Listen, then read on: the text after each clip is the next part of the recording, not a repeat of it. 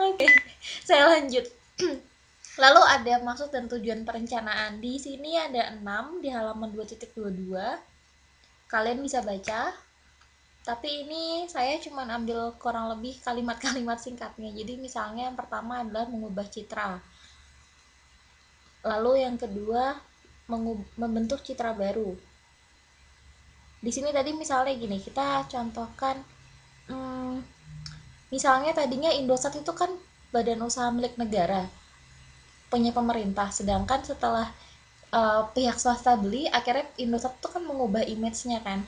Image yang perlu diberitahukan kepada khalayak ramai bahwa Indosat misalnya sudah bukan lagi merupakan BUMN bahwa sahamnya itu sudah diperjualbelikan gitu. Lalu membentuk citra baru. Citra baru di sini misalnya terkait dengan Indosat tadi dengan uh, adanya pemberitahuan bahwa misalnya Indosat ini misalnya sudah diprivatisasi itu juga kita, uh, dari perusahaannya juga bisa tahu apakah respon dari masyarakat ini misalnya positif atau negatif kurang lebih seperti itu. Lalu misalnya citra baru ini juga biasanya didukung dengan atau diikuti dengan misalnya pembentukan logo baru ini yang paling baru berita terbaru ada yang sudah baca belum ya bahwa SCTV dan Indosiar akan segera merger Oke, nanti coba dicari tahu beritanya ya.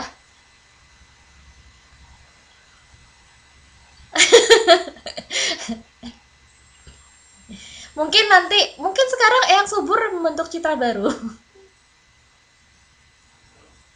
Oke, kalau gitu ini tugas, tugas bukan tugas sih. Ini hanya saya cuma pengen kalian coba ikuti misalnya mergernya SCTV dengan Indosiar. Nanti kalau saya nggak salah per Mei Nah,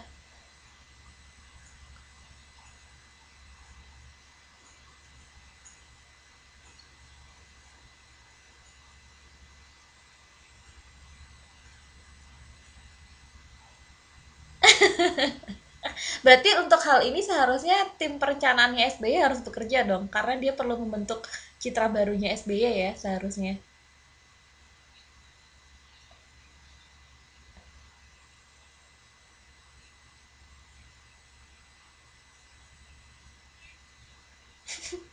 Oh, berarti ada Mbak Kania yang mendukung. Lalu ada Mbak Ana yang menentang.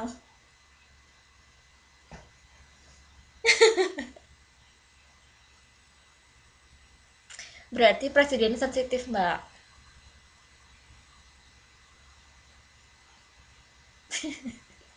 Oke, lalu tujuan yang ketiga adalah upaya memperkenalkan perusahaan dan mendapatkan pengertian serta dukungan dari publik. Jadi, perencanaan tadi misalnya atau Indosat tadi dengan misalnya dia merubah logo, dia membentuk citra bahwa sekarang dia bukan BUMN lagi, dia merupakan perusahaan swasta. Dia juga misalnya berusaha memperkenalkan produk-produk barunya. Mungkin kalau dulu kita ingat dia punya banyak produk yang misalnya penggunaan pulsa sekian, kita bisa dapat SMS ataupun telepon gratis sampai jam 6 sore misalnya kan seperti itu. Atau dengan kenaikan harga misalnya kenaikan harga pembelian pulsa atau kenaikan harga pemakaian telepon per menit. Dan itu dilakukan juga untuk mendapatkan pengertian serta dukungan dari publik. Lalu tujuan ada tiga tujuan lainnya jadi tujuan 1, 2, 3 ini lebih terkait dengan perusahaannya. Sedangkan uh, internal perusahaan maksud saya sedangkan tujuan 4, 5, 6 ini lebih terkait dengan eksternal perusahaan. Jadi dulu kita pernah bahas di Humas tentang um, program CSR, program uh, untuk melayani masyarakat sekitar kan. Jadi tujuan perencanaannya juga untuk meningkatkan community relations. Jadi bagaimana relasi perusahaan dibangun dengan komunitas yang ada di sekitar. Kemudian yang kelima memberitahukan bahwa misalnya pimpinan perusahaan ini ikut berpartisipasi dalam kehidupan masyarakat. Misalnya dengan kegiatan perencanaan ini akhirnya tuh misalnya kita sebagai publik kita tahu bahwa ternyata direkturnya Indosat itu ikut loh kemarin dalam acara tanam seribu pohon misalnya. Nah, lalu poin yang keenam yaitu memberitahukan kegiatan penelitian yang dilakukan oleh perusahaan. Jadi misalnya begini, dari Indosat misalnya sedang melakukan uh, penelitian mengenai um, misalnya pemakaian uh, eh, SMS akhir-akhir ini misalnya menjelang lebaran atau apa pemakaian SMS menjelang lebaran. Nah, dengan kegiatan perencanaan ini lalu mereka tuh memberitahukan kegiatan penelitian yang dilakukan oleh Indosat misalnya akhirnya kita bisa dapat jawaban ternyata kenapa kita mengirim SMS akhir-akhir ini suka tidak masuk atau mungkin um, misalnya SMS itu terkirim tapi itu berkali-kali itu dikarenakan pada masa itu merupakan masa-masa peak season di mana semua orang ketika lebaran tuh mengirim semua SMS. Jadi kegiatan penelitian ini dilakukan oleh Indosat, lalu mereka informasikan kepada publik. Ada pertanyaan sampai sini? Saya lanjut. Nah, di sini ada ini um, penegasan dari modul ini sih uh, di, disebutkan bahwa berhasil tidaknya suatu perencanaan bergantung pada skill dan efisiensi yang diterapkan. Dan faktor utama dalam pelaksanaan adalah memahami situasi yang dihadapi.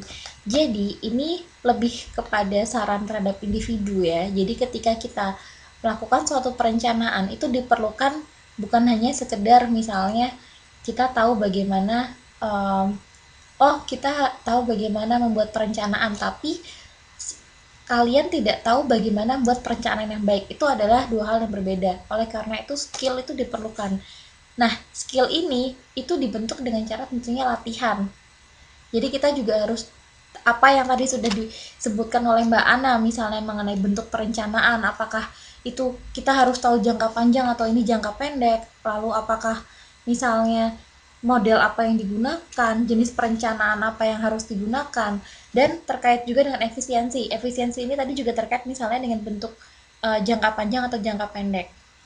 Lalu faktor yang berikutnya adalah kita bisa memahami situasi yang dihadapi. Itu kenapa ketika modul 1 disebutkan bahwa perencanaan ini dilakukan ketika kita sudah bisa menemukan masalah.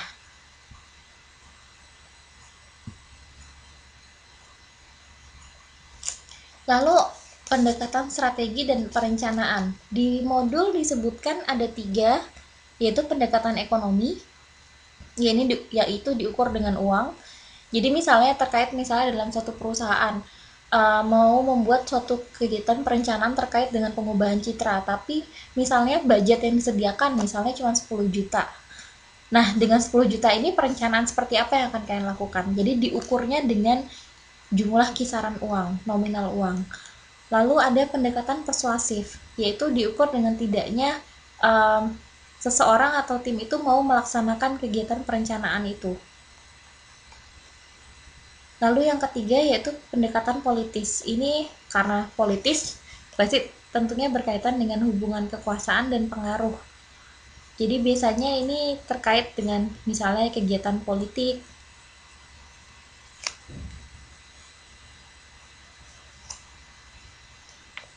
ada mau kasih contoh untuk pendekat tiga pendekatan ini kalau terkait dengan SBY tadi misalnya mm -mm. gimana nih mbak Ana nih mm -mm. itu politis mbak politis ya mbak ya halo lalu kalau menurut menurut Mbak Ana ini kita hanya ini berandai-andai ya. Lalu sebenarnya kan karena SBY sudah tidak bisa mencalonkan lagi, jadi menurut Mbak kenapa dia harus menikahkan dengan anaknya Hatta Rajasa?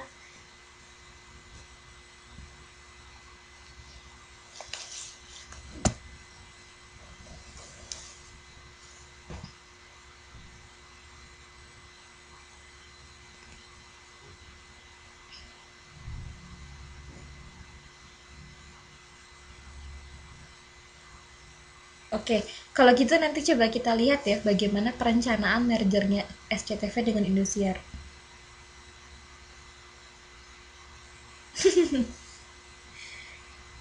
kan bisa aja misalnya kan Indosiar, oh ini ini pendapat saya pribadi. Misalnya di di uh, menurut opini saya itu Indosiar itu bukan merupakan salah satu stasiun televisi yang edukatif misalnya. Lalu upaya dia misalnya dengan merger dengan SCTV mungkin dia akan mengubah citranya. Ganti logo mungkin misalnya. Atau perombakan susunan acara televisinya